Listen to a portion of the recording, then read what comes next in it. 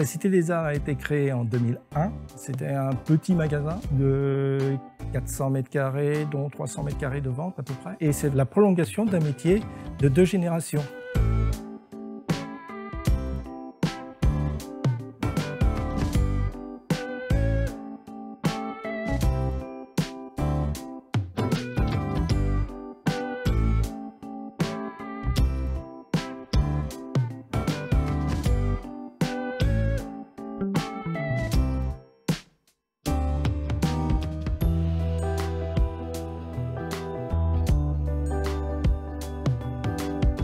La Cité des Arts, c'est un magasin qui vend des produits de, beaux-arts principalement, donc tout ce qui va être peinture, pinceau, donc ça va être aussi euh, les arts graphiques, donc tout ce qui va être le milieu de la sculpture, de la gravure, donc avec par exemple les argiles, avec tous les produits qui y sont associés.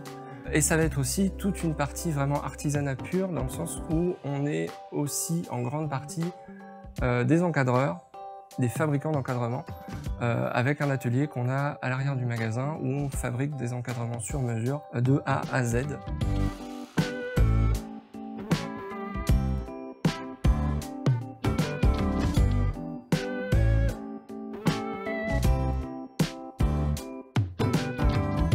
Alors, bosser en famille, c'est un gros avantage, c'est qu'on euh, travaille en confiance. Donc il n'y a pas de relation euh, employé-employeur, tout le monde travaille de, la même façon.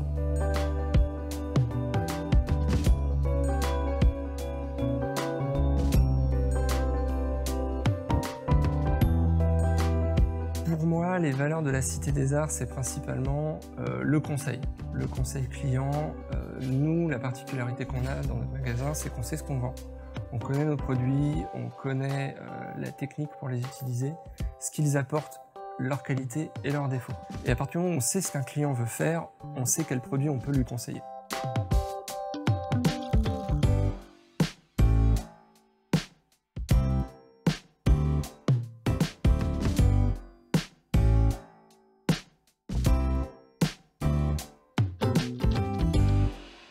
C'est surtout le respect des produits et de la qualité des produits. C'est-à-dire qu'on n'essaie pas de vendre un produit pour le produit, mais pour sa qualité.